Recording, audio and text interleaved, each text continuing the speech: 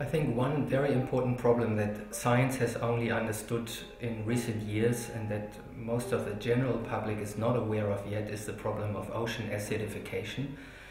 Uh, the carbon dioxide that we put in the atmosphere is also entering the oceans. About 30% of what we have added to the atmosphere from fossil fuels has actually ended up in the upper ocean.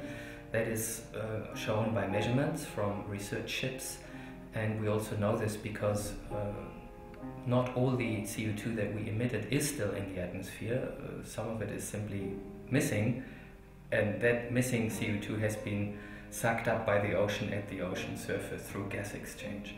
Now, that sounds like a good thing because otherwise the CO2 concentration in the atmosphere would be rising even faster. But on the other hand, it makes the ocean waters go more acidic because uh, that CO2 dissolved in ocean water forms carbonic acid.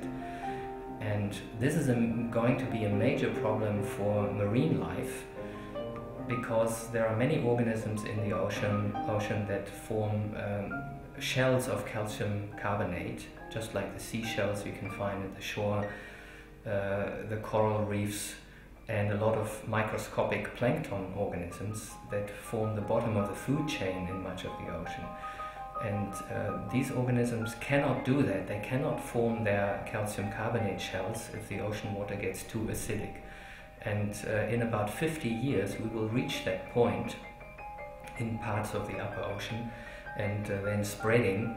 And that will have major detrimental impacts on the whole ocean ecosystems if we don't stop the rise in CO2 concentration in the atmosphere. So, that alone would be sufficient reason to stop emitting so much carbon dioxide, even if carbon dioxide did not cause a global warming, which we all also know that it does.